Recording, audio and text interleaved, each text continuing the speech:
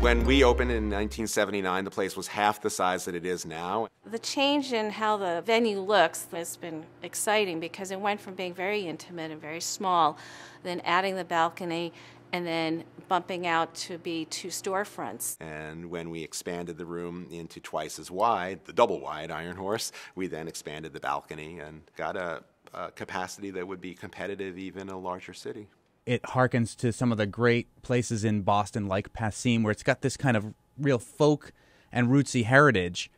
But you know, with the seats up top and the table service, you you know you feel like you're in an old timey saloon. It's got great acoustics. It's got great performers. It's almost like watching a show in your living room.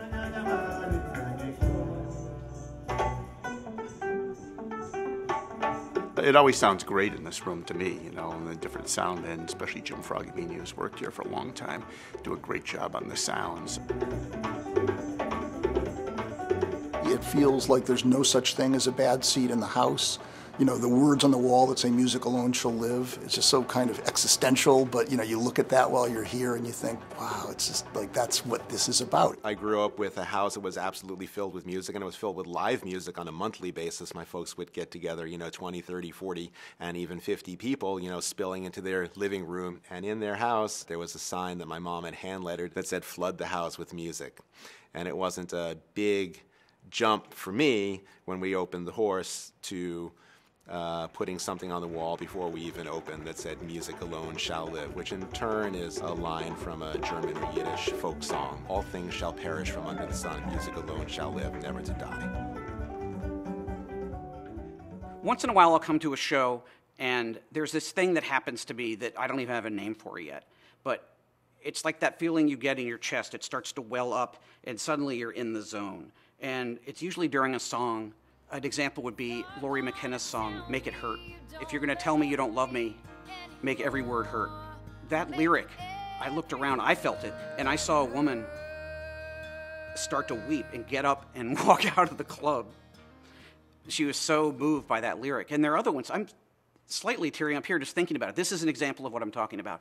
Is that here at the Iron Horse, it's more likely that you're going to have that moment, the proximity you have to the band changes the whole dynamic. And it's a much more personal experience. Whatever the artist kind of brings to the concert, I think the audience sort of shares that and understands it and, and gives back to, to, the, to the performers.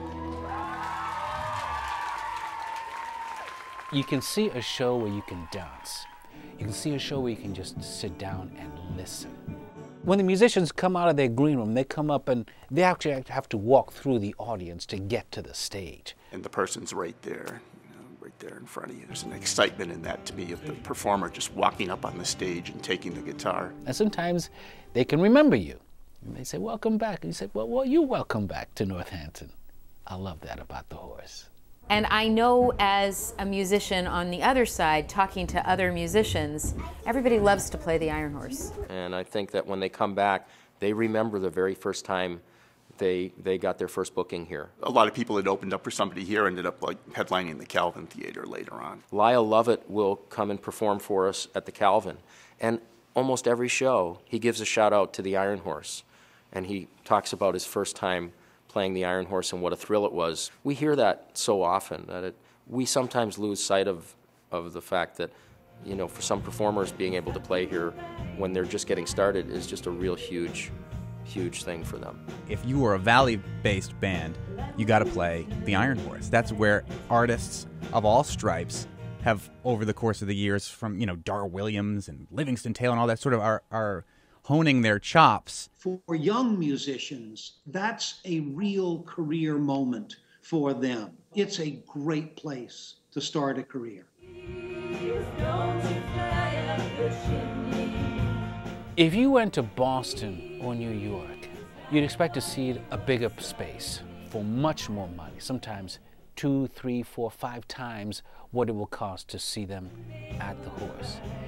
And yet they're willing to do that more well-established artists want to play it for the same sort of reasons that I think Beck did because it's got uh, a, a vibe almost like no other club.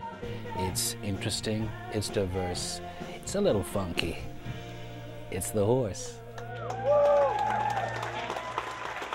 a big part of the Iron Horse's success is owed to a small little radio station that kind of grew up in Greenfield initially, um, but then moved to Northampton, uh, which is WRSI. Jordi and his partner John Riley started the Iron Horse in 1979.